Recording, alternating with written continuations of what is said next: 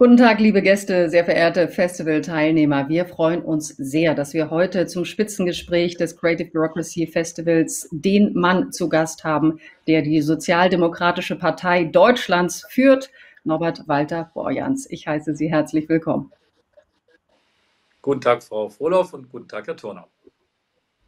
An meiner Seite ist äh, Sebastian Turner. Er ist äh, Mitinitiator des Festivals, war lange Jahre Herausgeber des Tagesspiegel und ist jetzt Gründer des unabhängigen digitalen Medienhauses Table Media. Herr Walter Beuerns, wir wissen sehr zu schätzen, dass Sie kurzfristig eingesprungen sind für den äh, verhinderten SPD-Kanzlerkandidaten Olaf Scholz. Ähm, lassen Sie mich auch sagen, dass wir schon eine ganze Reihe von Fragen von den Festivalgästen bekommen haben, die wir nachher gerne an Sie weiterreichen möchten. Herr Walter Borjans, Sie sind äh, Bundesvorsitzender der SPD, der Mann, der Olaf Scholz schon mal in einer Wahl geschlagen hat. Und äh, mir liegt jetzt äh, fast auf der Zunge zu fragen, haben sich denn ähm, andere Kandidaten bei Ihnen schon gemeldet, um zu fragen, wie Sie das wohl geschafft haben?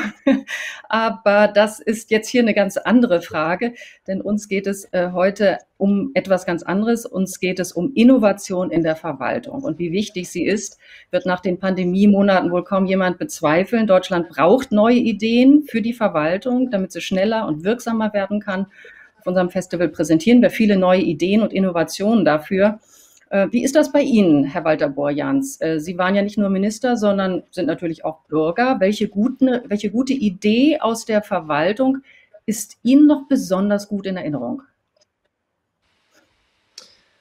Ähm, ich war ja als Finanzminister Dienstherr von 27.000 Finanzbeamtinnen und Finanzbeamten. Da hat man ja eine Menge Rückmeldungen, also nicht nur die eigene als Bürger, sondern äh, gerade im, ähm, auch als Dienstleister. Und äh, ich war vorher äh, bei der Stadt Köln der Verantwortliche für 1000 Mitarbeiterinnen und Mitarbeiter in der Wirtschaftsförderung und auch in der Kämmerei. Und ich würde aus diesem Bereich ein Beispiel nennen.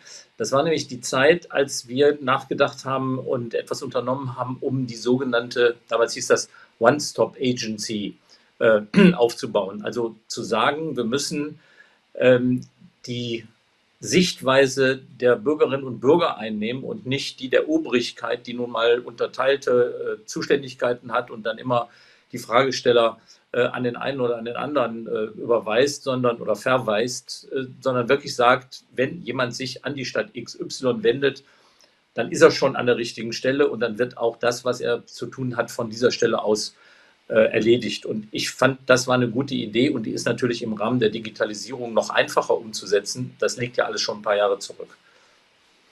Mhm. Dann kommen wir jetzt zu unserem ersten Themenblock, den jetzt Sebastian Turner übernimmt.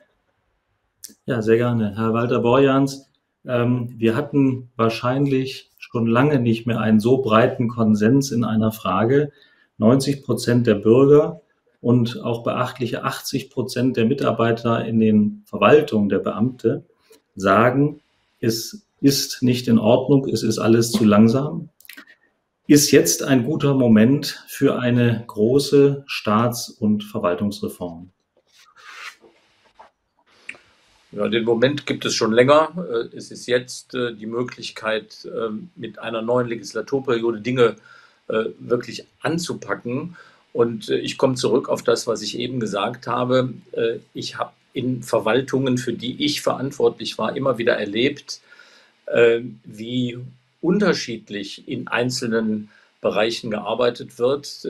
Und es gab immer die, meistens war das sehr abhängig von den handelnden Personen, die in, im Rahmen ihrer Möglichkeiten schon enorm viel, ich will nicht mal sagen Kundennähe, weil die Bürgerinnen und Bürger sind nicht die Kunden des Staates, wir sind alle gemeinsam das Gemeinwesen, aber die jedenfalls sich mit den Anfragen, die sie zu bearbeiten hatten, sehr aktiv und sehr vom Fragesteller her oder vom Antragsteller her beschäftigt haben.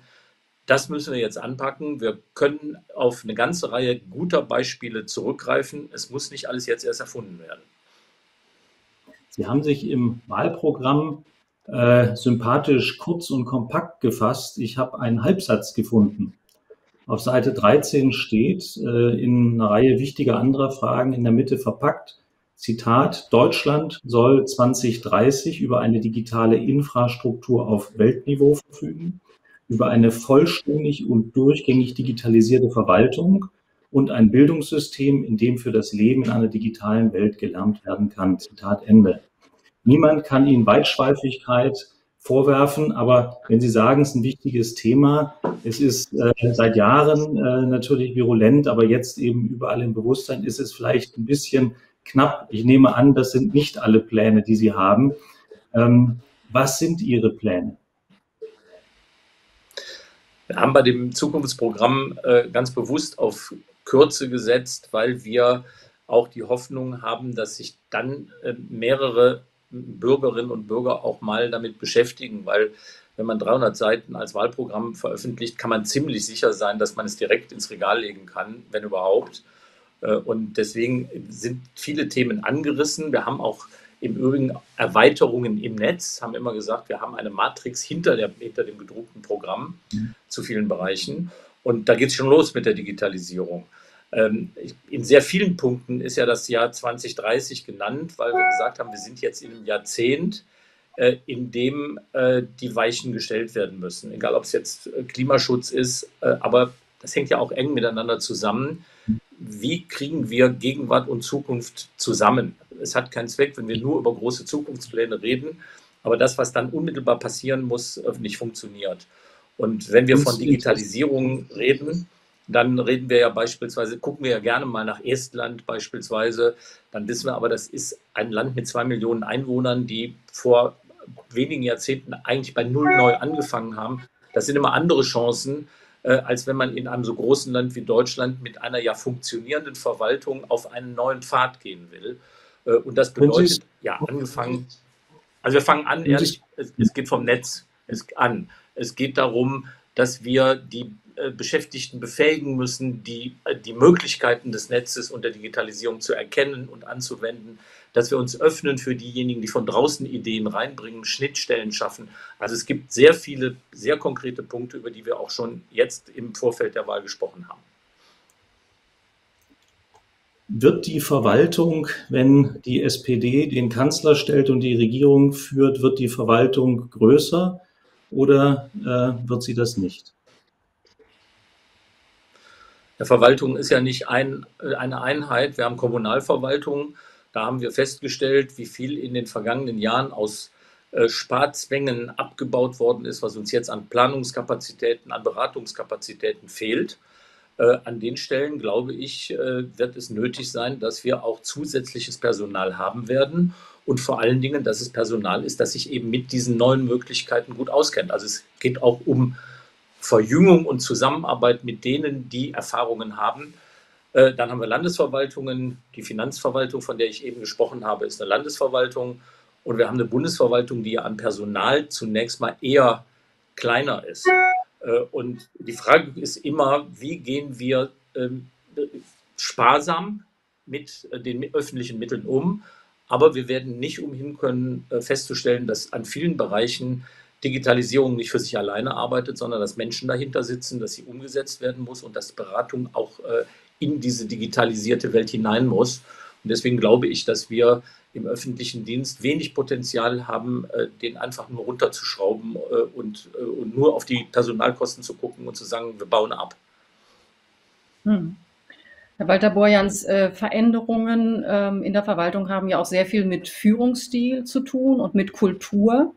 Äh, und unser Festivalgründer und äh, der Erfinder des Creative Bureaucracy Konzepts, äh, Charles Landry, der hatte ein sehr schönes Konzept entwickelt. Er sagt, wir brauchen eine No, wir müssen kommen von einer No Because Culture zu einer Yes If Culture. Also von einer Nein weil Kultur zu einer Ja wenn Kultur. Was halten Sie davon? Viel.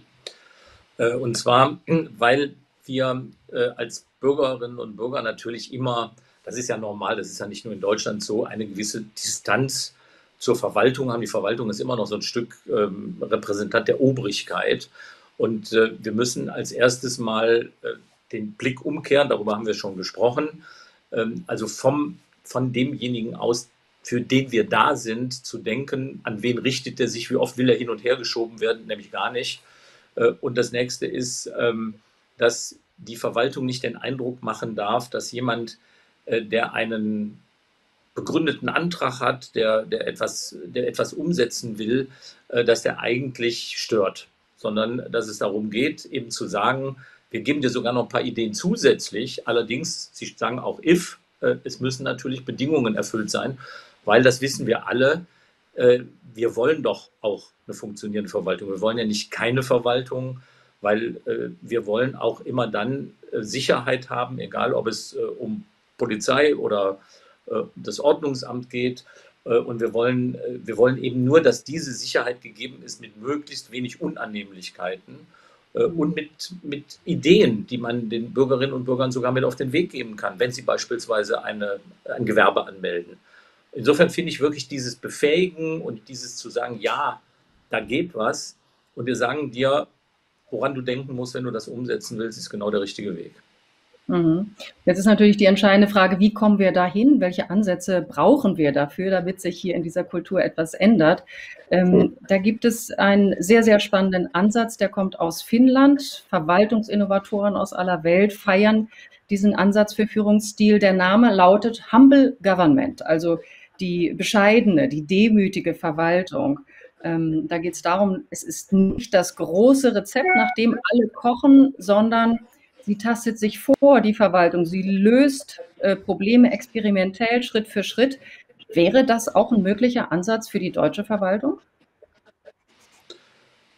Naja, ich finde mich eigentlich mit dem, was ich eben gesagt habe, in diesem Gedankenspiel auch wieder, weil ich ja gesagt habe, Humble heißt ja im Prinzip, der, der Staat, die Verwaltung ist nicht die Obrigkeit, äh, die den störenden Bürger in irgendeiner Weise am besten abwimmelt äh, und wenn dann irgendwo auf in die Warteschleife setzt, sondern äh, die dazu da ist, das, was an Rahmen nötig ist, wenn man zusammenlebt, ja, durchzusetzen und, und vorzugeben, aber dann gleichzeitig alle Hilfen anzubieten, dass man mit dem Rahmen so gut wie möglich umgehen kann. Das ist für mich genau dieser, dieser Gedanke des Humble. Ähm, was gehört dazu? ich glaube, wir haben von der Art, wie wir öffentlichen Dienst organisiert haben, auch wie wir ihn belohnen, wie wir honorieren, äh, uns sehr lange sehr stark darauf reduziert, Risiko nicht zu optimieren, sondern Risiko zu minimieren. Äh, und jeder, der äh, auch mal einen Blick in die, in die private Wirtschaft äh, gerichtet hat, der weiß, wer gar kein Risiko eingeht, erreicht nichts. Wer ein Abenteurer ist, erreicht am Ende auch nichts. Es liegt irgendwo in der Mitte, richtig abzuwägen, wo man auch mal äh, ein ja durchaus auch ein persönliches Risiko übernimmt. Äh, und das ist in der Verwaltung so, dass muss man sagen, dass jemand, der wirklich bereit ist, dieses Risiko zu übernehmen bei einer Entscheidung, kaum gewinnen kann, wenn das zu einem Erfolg führt, aber sehr stark am Pranger steht, wenn es ein Misserfolg wird. Und diese Frage, wie, wie ermuntere ich Personen dazu, äh, Entscheidungen zu treffen, wenn es Ermessensspielräume gibt, die eben Yes if sagen und nicht äh, No because, dann ist das, äh, glaube ich, was unsere Struktur des öffentlichen Dienstes angeht, ein ganz wichtiges Thema, über das wir gemeinsam auch reden mit den Personalvertretungen. Ich zumindest in diesen früheren äh, Aufgaben, aber das, das nötiger in der nächsten Zeit versprechen Sie bis 2030 die komplett digitale Verwaltung. Schauen wir mal auf heute. Wohl nirgends, in keiner Stadtverwaltung, in keinem Bundesland, auch nicht auf Bundesebene, auch ganz gleich, wer regiert. Nirgends ist Deutschland im Digitalen führend. Woran liegt das? Ja, es liegt, wie gesagt, es liegt zum einen daran, dass Neuland zu betreten äh, etwas ist, das äh, in der Verwaltung selten gelernt ist. Äh, und weil es diese, ich sag mal, eher Risikominimierungsstrategien gibt, äh, hängt es immer von einzelnen Personen ab, ob die sagen, ich nutze jetzt mal meine Möglichkeiten in, meiner Verantwort in meinem Verantwortungsbereich. Und deswegen gibt es ja auch viele gute Beispiele. Aber man kann sich auch zurückhalten und sagen, also warum soll ich das machen? Am Ende kann ich mir nur schaden. Äh, und neun Jahre ist nicht lang. Wir, bei 2030 denkt man immer, das sind so riesen Zeithorizonte. Ähm, ich habe mich in der Zeit äh, als Finanzminister äh, auch umgetan in anderen Ländern. Ich habe mir Digitalisierung in Österreich angeguckt. Ich habe mir die Veränderungen, Bemühungen in den skandinavischen Ländern angeguckt. Und es war am Ende immer diese Mischung aus, ich sag mal, Menschen, die von draußen mit drauf geguckt haben, die auch Ideen aus anderen Bereichen äh, von Wirtschaft, Verwaltung, von, von Alltagsleben mit eingebracht haben äh, und sich auch mal die Kriterien angeguckt haben, an denen man überhaupt misst, ob man in der Digitalisierung vorne liegt oder nicht. Das hat mich, muss ich sagen, damals äh, bei, bei Digital Austria sehr beeindruckt. Da habe ich mir das angeguckt und da wirklich an die neuralgischen Punkte ranzugehen. Also gar nicht immer alles auf einmal ändern zu wollen, sondern zu sagen, was sind die fünf wesentlichen Punkte, die wir in einer funktionierenden kunden- oder bürgerorientierten Verwaltung erwarten. Äh, woran misst dieser Bürger das, was er gut findet oder schlecht? Und da als erstes ranzugehen, das zieht auch nach, weil es motiviert. Ja, der, das Beispiel Österreich, das aufgrund von seiner Tradition, Bundesstaat und so weiter mit uns durchaus verwandt ist, das Beispiel wird zurückgeführt darauf, dass ein Bundeskanzler Österreichs, Schüssel, Wolfgang Schüssel, gesagt hat, ich mache genau. das jetzt zu einer Sache. Äh, erwartet uns das äh, bei einer SPD geführten Bundesregierung? Wird es dann Chefsache äh, oder werden Sie ein Digitalministerium äh, forcieren, in das es delegiert wird? Das müssen wir schnell, äh, aber äh, mit Weitblick entscheiden und es wird auch sicher ein Thema von Verhandlungen ja, das, das unterschiedlicher Partner. Ich würde Ihnen niemals unterstellen, dass Sie nicht mit Weitblick entscheiden, aber wie entscheiden Sie denn dann? Also Sie nee. wollen ja in ja, wenigen Wochen und man könnte ich ja vielleicht jetzt, jetzt, können jetzt die schnelle Antwort geben und sagen, das machen wir wie Österreich. Jetzt müssen wir nur wissen, Österreich wäre nicht mal als Bundesland eines der ganz großen Bundesländer in Deutschland. Und die österreichischen Bundesländer haben auch nicht diese Kompetenzen, die unsere Bundesländer haben. Also insofern sind sie an der Spitze der Republik Österreich in einer anderen Position als an der Spitze der Bundesrepublik Deutschland. Und äh, deswegen ist das immer, deswegen habe ich auch gesagt, Estland ist schön äh, und ist toll, dass sie das machen, haben zwei Millionen Einwohner.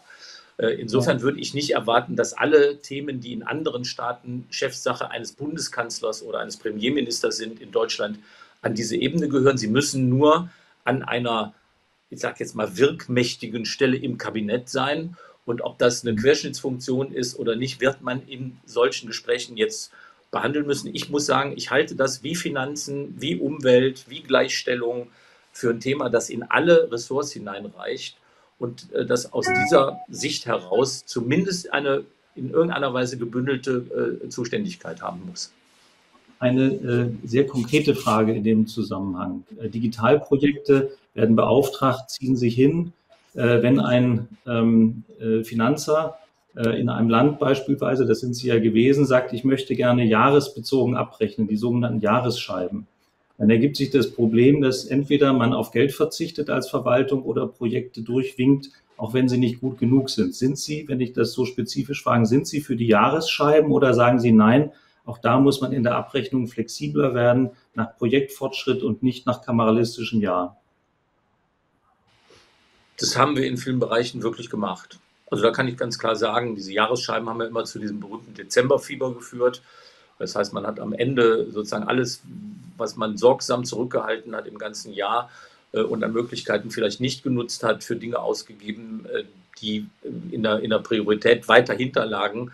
Das ist aber seit Jahren so, dass in großen und wichtigen Projekten auch eine über, über den Dezember, über den, über den Silvestertag hinausgehende Finanzierung möglich ist.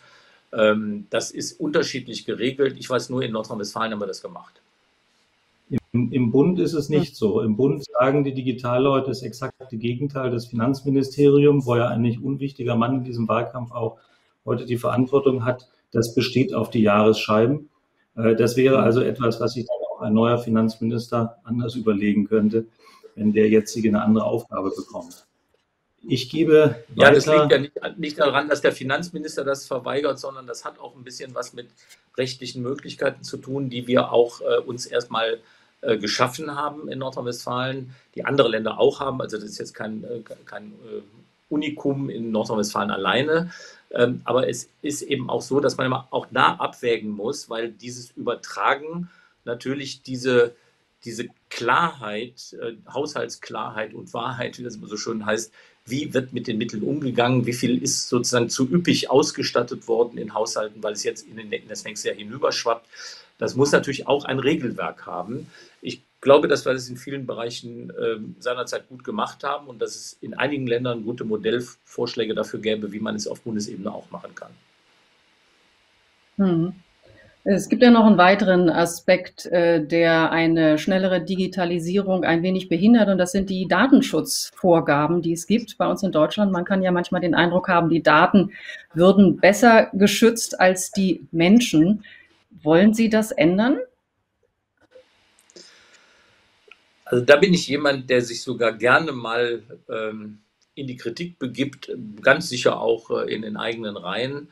Äh, ich bin ehrlich gesagt ziemlich skandinavisch geprägt. Ähm, und in Skandinavien war es immer so, dass die Bürgerinnen und Bürger eine hohe, ein hohes Vertrauen in ihren Rechtsstaat, in ihre Demokratie haben und nicht immer bei jeder Frage davon ausgegangen sind, was passiert eigentlich im schlimmstmöglichen Fall, wenn es morgen eine Diktatur gibt und jemand ganz anderes auf die Daten zugreift, Klammer auf, was er ohnehin täte, wenn es zu diesem Fall käme, Klammer zu, äh, und deswegen auch mehr Anwendungs- und Nutzungsmöglichkeiten hatten.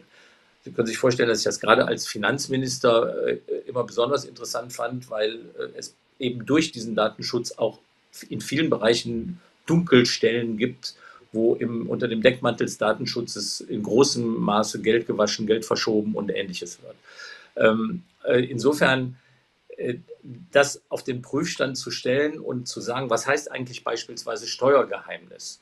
Wenn ich Fördermittel vergebe und jemand die in Anspruch nimmt, dann ist das kein Steuergeheimnis. Dann finde ich, dann darf man auch sagen, du musst damit einverstanden sein, dass auch bekannt wird, dass du vom Staat Unterstützung bekommst, weil es immer zu dieser Lösung führt, man glaubt immer, die Großen, die in der Zeitung standen, sind vom Staat gefordert worden, die vielen Kleinen nicht.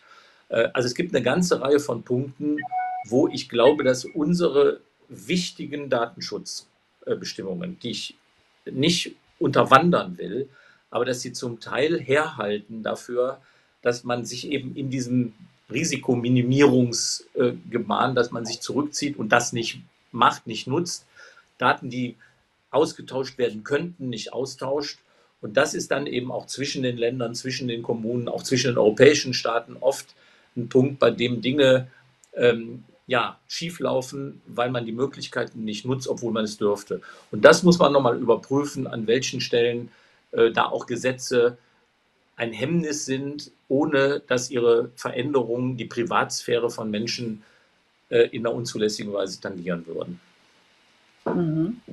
Ja, da muss man sicherlich in viele Bereiche hineinschauen. Ein ja. Bereich, den man sich dann vornehmen muss, wäre wahrscheinlich auch künstliche Intelligenz. Denn künstliche Intelligenz, die ja die SPD in Deutschland voranbringen will, ähm, lebt von Datennutzung, also gerade nicht vom Datenschutz. Äh, welchen Weg will die SPD da gehen?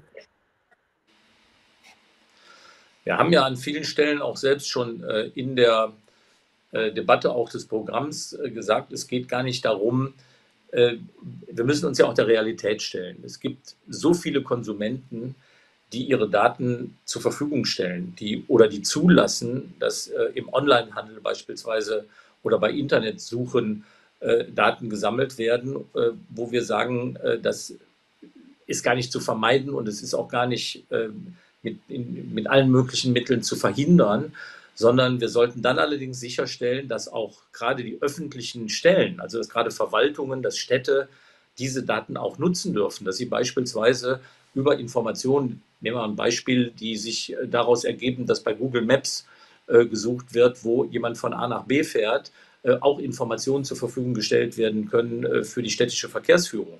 Äh, und das sind Dinge, wo man sagen muss, äh, da stellen ja Kunden zur Verfügung und da machen wenige große Digitalunternehmen Riesengeschäfte mit, ähm, die eigentlich nicht eigentlich Gegenstand ihrer Leistung und Gegenleistung sind. Und da muss man, da finde ich, äh, kann Verwaltung eine Menge ja, Nutzen draus ziehen. Und das muss auch geklärt werden, dass diese Daten dann verwendet werden können für, für eben gemeinwohlorientierte Dienstleistungen.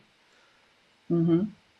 Äh, müssen wir dann auch strukturell rangehen? Im Moment ist es ja so, dass Deutschland in 16 Bundesländern verschiedenen Datenschutz hat, keinen einheitlichen. Äh, will die SPD das dann auch ändern?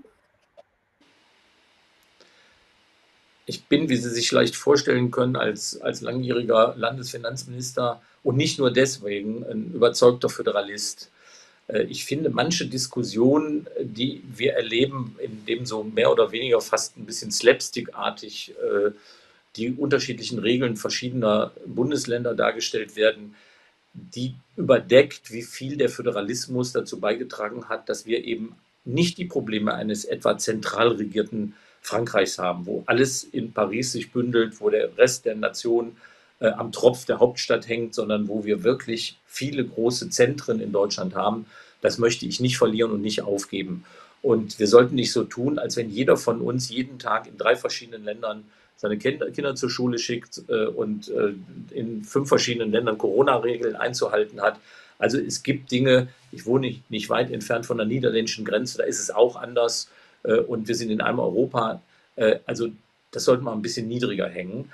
Auf der anderen Seite sprechen Sie allerdings bestimmte Rahmen an, innerhalb derer man wissen muss, was geht und was nicht geht. Und deswegen finde ich diese Koordinierung des Föderalismus, die ist nicht gut. Äh, das hat sich gerade jetzt auch bei vielen der Ministerpräsidentenkonferenzen beispielsweise gezeigt, als es um Corona ging, dass die Chefetage, also die Runde von Regierungschefs von Bund und Ländern, Einzelfragen lösen sollten, die lange vorher auf der Ebene von Verwaltungen und, und von Verwaltungsspitzen hätten äh, vorgedacht und vorgelöst werden können.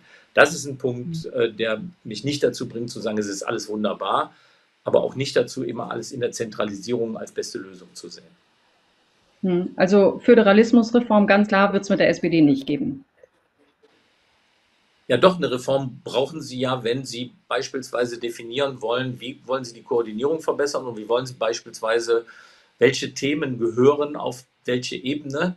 Aber wenn das immer äh, mit dem, ich sage jetzt mal, mit dem Hintergedanken läuft, am besten die Länder machen das alles gar nicht mehr, das machen wir alles besser in Berlin, äh, dann weiß ich, dass das die Nähe zum Bürger nicht verkürzt oder verbessert, sondern dass es die Distanz vergrößert und deswegen in der Föderalismusreform die die föderalen Pluspunkte wirklich raushebt äh, und, und die, den Föderalismus nutzt, finde ich richtig.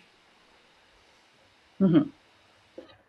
Gut, Sebastian Turner, ich, wir, äh, ich würde vorschlagen, wir kommen jetzt zu den Fragen, die uns die Festivalgäste geschickt haben und die lassen sich mhm. praktischerweise alle mit Ja und Nein beantworten. Vielleicht starten Sie mit der ersten Frage. Ja, äh, Philipp Stolz, der Digitalisierungsbeauftragte der Gemeinde Saalach und der ganze Beamtenbund stellen eine Frage, nämlich äh, Berufsbeamtentum, wollen Sie das erhalten? Ja,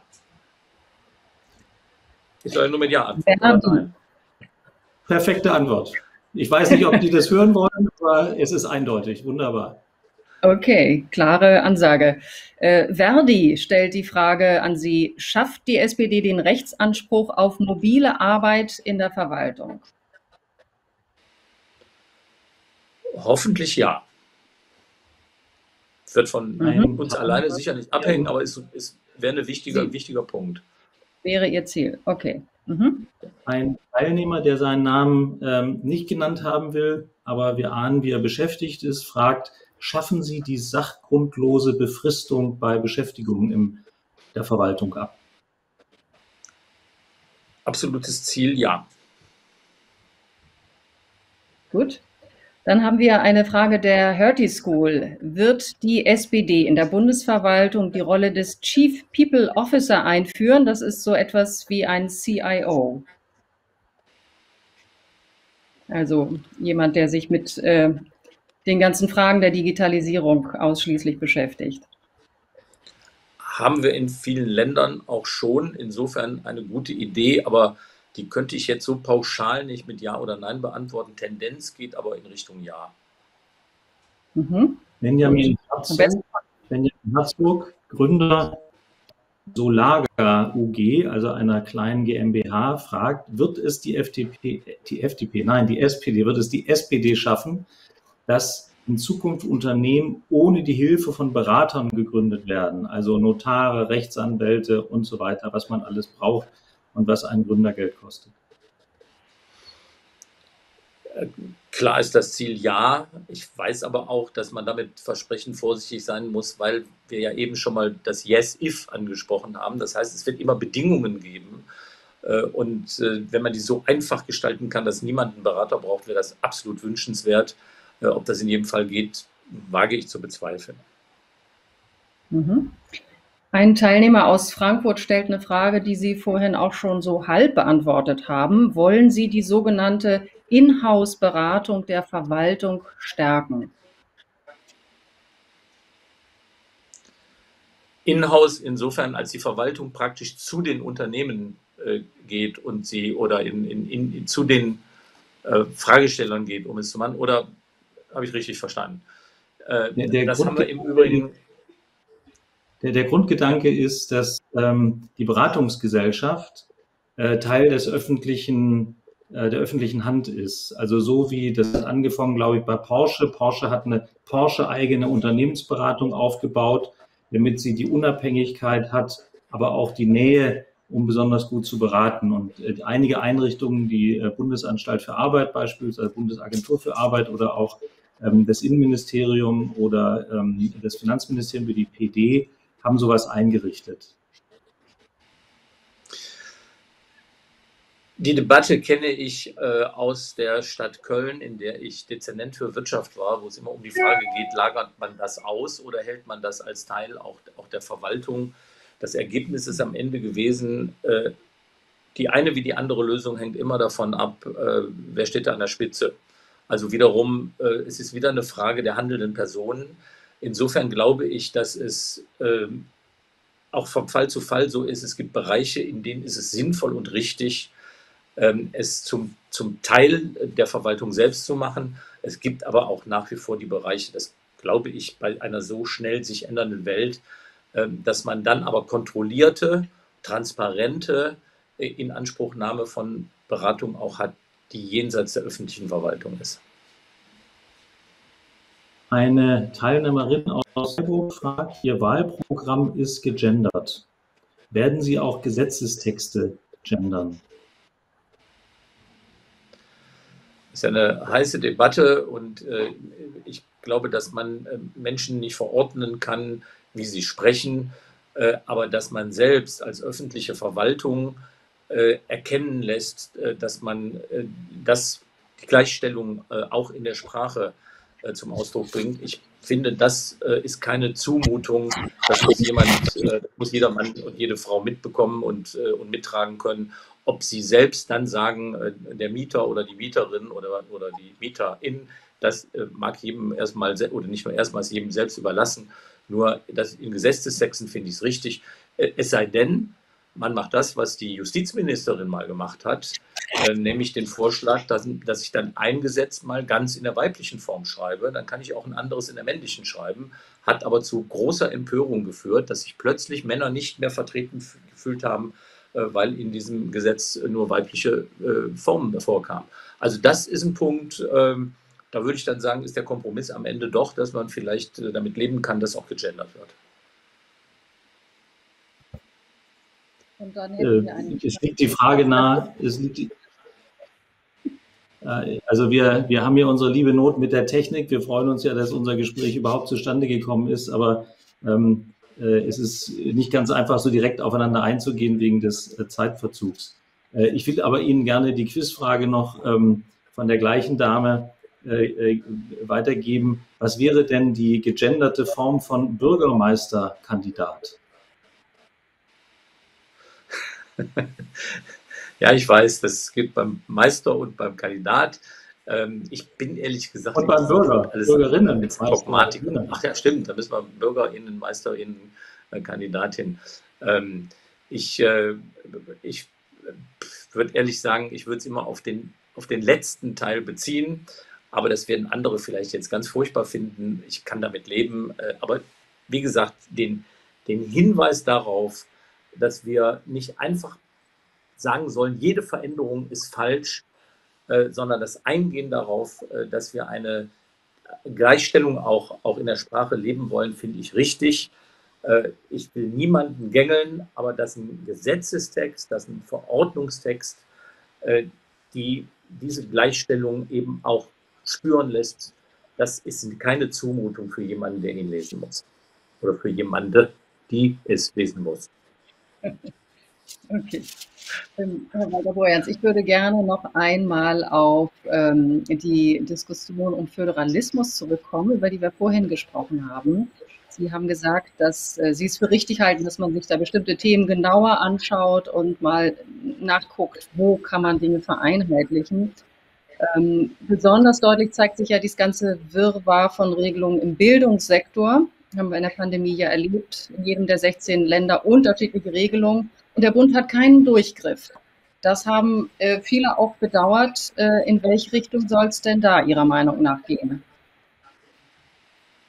Ja, da haben wir ja mit dem, äh, mit dem Infektionsschutzgesetz äh, einige Rahmen auf die Bundesebene gehoben. Also das finde ich zum Beispiel ist eine gute Grundrichtung zu sagen, äh, man muss eine, ein, einen Fall definieren und eine Grenze definieren, von der an es einfach darauf ankommt, dass schnell gemeinsam gehandelt wird und das gehört dann auf die Ebene des Bundes und dass man eben unterhalb, in diesem Fall eben äh, der, der bestimmten Inzidenzraten, äh, dann sagt, äh, da darf auch jedes Land äh, im Wettbewerb zueinander nach den besten Lösungen suchen. Das haben wir im Übrigen Vielleicht kehren wir das auch zu oft unter den Teppich, dass es viele Fortschritte in Deutschland dadurch gegeben hat, dass ein Land mal mit etwas angefangen hat äh, und die anderen ihm nachher gefolgt sind.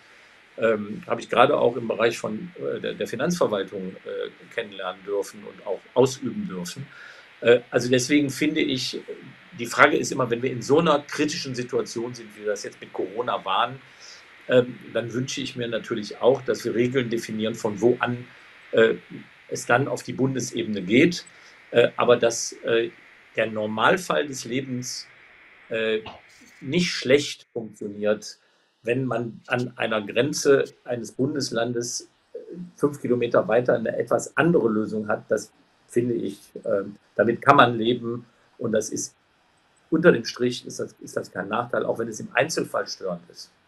Hm. Aber jetzt sagen Sie, Sie würden. Ich sagen, wir hatten einen Wirrwarr bei der Frage von, wer alles eine Maske tragen muss, wer keine tragen muss, ob ich Präsenzunterricht habe oder nicht habe, ob es digital läuft oder nicht läuft.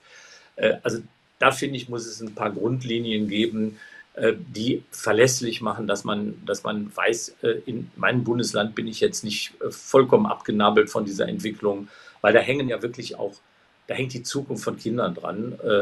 Aber nochmal, ich bin trotzdem nicht der Meinung, dass das alles zentral vorbestimmt werden muss und keinerlei Flexibilität auf der Landesebene gibt. Mhm. Okay, hat sich meine Frage erübrigt. Danke. Ja, wir haben noch einen großen äh, Themenkomplex. Ähm, äh, vorgegeben wird er durch die Entwicklung der Welt, der Klimaschutz. Uns interessiert der Zusammenhang zwischen Verwaltung und Klimaschutz.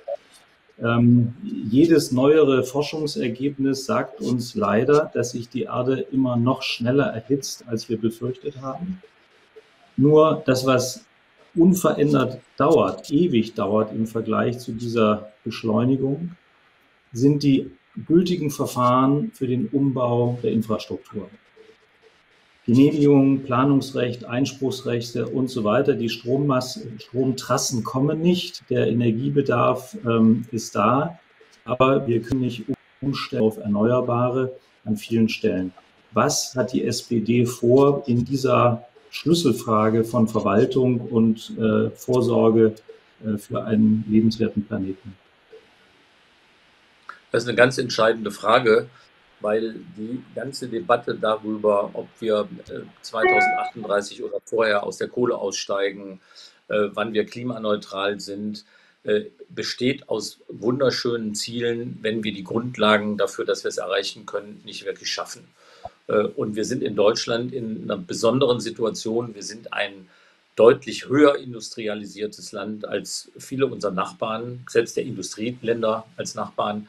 Äh, wir wollen nicht wieder einsteigen in die Kernkraftnutzung. Wir wollen aussteigen aus der Kohle.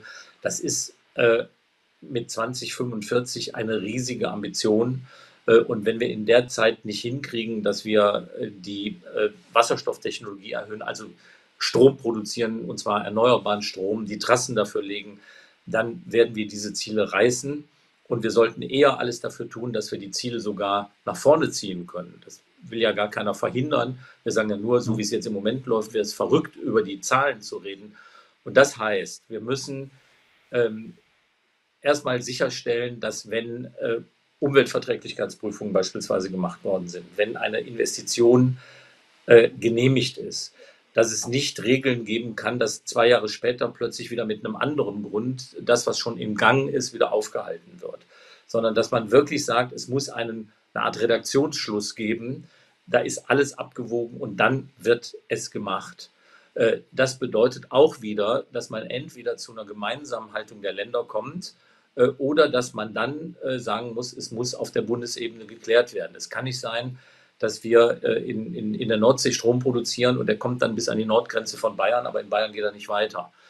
Und das sind alles Punkte, da hat auch ja unser Kanzlerkandidat Olaf Scholz gemeinsam mit uns gesagt, das ist das Erste, was wir anpacken wollen dass wir sagen, wir müssen jetzt rigoros diese Kapazitäten an erneuerbarer Energie erhöhen und müssen dafür die Planungsgrundlagen schaffen. Äh, Im Übrigen brauchen wir dafür auch einige Gesetze, die, die so sind, dass wir auf, auf der einen Seite verfassungsfest sind und auf der anderen Seite aber auch eine Rechtsklärung geben, weil wir ansonsten auch in eine Situation kommen, wo Politik äh, alle naslang ausgehebelt wird durch Klagen und durch Gerichtsbeschlüsse, die praktisch äh, das Verfahren nicht weitergehen lassen können. Es gibt ja Leute, die sagen, äh, wir sind da auf dem Weg in einen Richterstaat. Das ist jetzt erstmal keine Kritik an den Gerichten, sondern eine Kritik am Gesetzgeber, dass er offenbar Regeln aufstellt, die so sind, äh, dass sie einer gerichtlichen Prüfung nicht standhalten. Und genau an dem neuralgischen Punkt, da werden, man, da werden wir im ersten Jahr ansetzen müssen. Können Sie es ein bisschen konkreter machen? Also es ist ja ein, ein äh, von Ihnen ja auch richtig äh, betonter Punkt. Sie sagen, Sie wollen es als erstes machen, dann wird es ja die eine oder andere Überlegung konkreter Art geben, was genau Sie vorhaben. Also worauf müssen sich die Umweltverbände, die Gerichte, die Planer, worauf müssen die sich einstellen? Je konkreter sie werden, umso mehr freuen sich unsere Zuhörer und Zuschauerinnen, ähm, dass sie äh, jetzt eine Ansage bekommen, was sie erwartet unter einer SPD-geführten Regierung? Sicher nicht, dass wir äh, die ortsnahen Belange von Artenschutz, Umweltschutz, äh, äh Anwohnerschutz, Anwohnerinnenschutz ähm, äh, außer Acht lassen. Also es geht jetzt nicht darum, dass wir sagen, wir brauchen jetzt Trassen und jetzt habt euch mal nicht so, die wird bei euch vorbeigelegt übers Haus, sondern wir haben ja doch einen Standard erreicht, auch mit unserer Bürgerbeteiligung, äh, den wir nicht wieder loslassen sollten. Das Einzige ist doch, dass wir äh, viel zu viel Schritt für Schritt machen und das erste dann erledigt ist, lange dauert und dann erst der nächste Schritt losgeht. Und deswegen werden wir uns genauso wie wir das beim Kohlekompromiss gemacht haben, über den sich viele Menschen jetzt ärgern, aber der zustande gekommen ist, weil alle Beteiligten am Tisch, äh, am Tisch sich gesagt haben, äh, wir fassen jetzt mal unsere Interessen zusammen und wenn wir es hinterher gemeinsam nach vorne gezogen kriegen, ist ja in Ordnung, aber wir haben jetzt eine gemeinsame Vereinbarung und die brauchen wir in der Kette, ich sage es jetzt nochmal, vom Windrad in der Nordsee über die Trasse bis in den Süden Deutschlands, aber eben auch verbunden mit all dem, was Anwohner tangiert, was Artenschutz tangiert, weil das nicht einfach zur Seite geschoben werden darf. Äh, also nicht bitteschön glänzende Augen kriegen, weil man sagt, guck mal, die Chinesen können alles schneller. Äh, wir wollen vieles, was da zum schnelleren Realisieren führt, nicht haben. Äh, und deswegen sollte man das zusammenbringen. Das ist keine Geschichte, die man in ein, zwei Monaten geklärt hat. Aber die muss sofort begonnen werden und sie muss sehr schnell zu einem Ergebnis führen, dass wir dann anschließend eine solche Trasse schnell bauen können. Und zwar ohne noch mit neuen Komplikationen rechnen zu müssen, wenn, wenn der Bau begonnen hat. Sie haben einen äh, schönen anschaulichen Begriff gewählt, den Redaktionsschluss. Wird die Zustimmung zu einem solchen Planungs-, Genehmigungs-, Durchsetzungsredaktionsschluss, wird das eine Bedingung sein für eine Koalition? Werden Sie nur koalieren mit Partnern, die sagen, jawohl, Redaktionsschluss machen wir? Also ich tue mich etwas schwer immer mit diesen roten Linien, die in jedem einzelnen Punkt sagen, wenn ihr das nicht macht, ist die Koalition schon gestorben, dann brauchen wir nur drei zu definieren und wir werden, es wird, wird niemand miteinander koalieren können. Ich bin mir aber ziemlich sicher, äh, dass die demokratischen Parteien, die eine, ich sag mal, zukunftsgerichtete Politik für Deutschland verantworten wollen, dass das ehrlich gesagt eigentlich keine rote Linie sein kann. Äh, Sie werden, sprechen ja jetzt vielleicht gerade in diesem Punkt auch die Grünen an, äh, weil ich sag mal, da vielleicht die Interessen des, des großflächigen äh, Umweltschutzes und des Klimaschutzes mit dem kleinflächigen äh, Schutz vor Ort am ehesten, jedenfalls könnte man annehmen, kollidiert. Aber auch da weiß ich aus vielen Gesprächen, dass man sich dessen bewusst ist und dass wenn daran am Ende äh, die Umstellung auf erneuerbare Energien scheitert, äh, wir auch mit dem kleinflächigen Schutz, Schutz nichts mehr zu tun haben. Also ich bin mir ziemlich sicher, dass das äh, keine rote Linie braucht, die, ohne die ansonsten diese Erneuerung, die wir brauchen, nicht möglich wäre. Herr Walter Boergans, lassen Sie uns eine letzte Frage stellen, die so ein bisschen in die Zukunft schaut. Es ist ja noch offen, ob Sie in die Regierungsverantwortung kommen, aber falls ja, ist klar, eines Tages werden Sie diese auch wieder abgeben müssen. Und die Frage lautet, was sollen die rund fünf Millionen Beschäftigten im öffentlichen Sektor dann von einer SPD-geführten Bundesregierung sagen? Dass sie den Wert, den eine gute Verwaltung für einen für den gesellschaftlichen Zusammenhalt, aber eben auch für die Befähigung äh, zur wirtschaftlichen Dynamik äh, beigetragen hat, äh, geschätzt hat und dass sie dafür die Voraussetzungen geboten hat. Und das hat viel zu tun mit den Strukturen, über die wir heute gesprochen haben. Es hat zu tun mit der Personalpolitik, also nicht gerade da zu sparen, wo wir Planungskapazitäten, Beratungskapazitäten brauchen. Und es hat damit zu tun, dass wir für eine auch Besoldung oder Bezahlung sorgen, die nicht dazu führt, dass wir uns immer beklagen, wir kriegen keine Fachleute, äh, und auf der anderen Seite äh, aber eine Menge Menschen da sind, die diese Befähigung haben, aber den öffentlichen Dienst nicht attraktiv finden. Also da haben wir eine Reihe zu tun und wenn wir sagen können, dass wir dafür gesorgt haben, äh, das heißt auch, dass wir zum Beispiel Kommunen finanziell in die Lage versetzt haben, ihre Aufgaben auch wirklich wahrzunehmen, dann könnte ich gut zurückblicken, aber ich möchte jetzt gar nicht an den Punkt kommen, wo ich gerade äh, den Staffelstab schon wieder an jemand anderen übergebe. Ganz herzlichen Dank ähm, für Ihre Zeit. Ganz herzlichen Dank, dass Sie eingesprungen sind und ähm, wir sind neugierig, wie sich die Dinge entwickeln. Vielen Dank. Herzlichen Dank. Ich bedanke mich. Dankeschön.